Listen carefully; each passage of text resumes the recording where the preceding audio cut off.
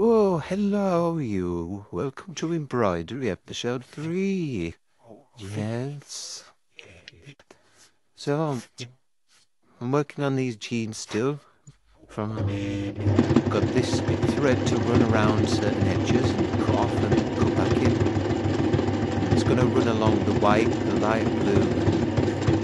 Then it's going to have, it'll fill in like little holes, like little dip, the dips at the bottom of the flares.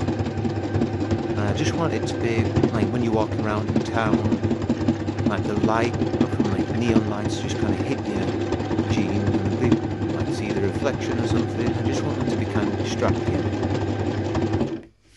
Right.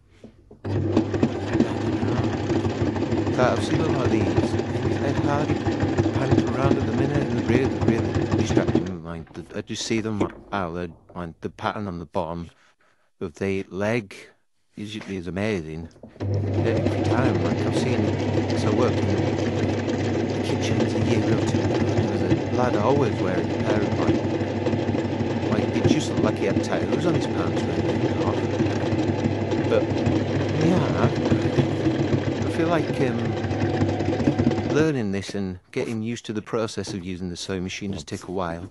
There's a comment from someone saying that they had uh, struggled to get things set up. So if anybody wants me to do a video of me setting up the sewing machine, I can do that.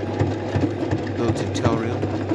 It's not as hard as it seems, but it can be confusing from the old. As you can see here, I'm just filling in this edge and then I'm going to cut it out. And then not cut off the thread and then come back in in a second. But thank you for joining this episode and I'll see you hopefully in the next one.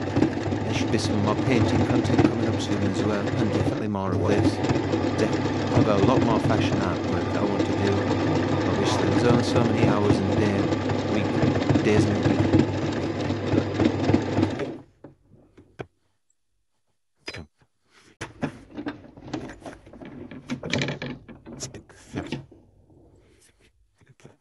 Every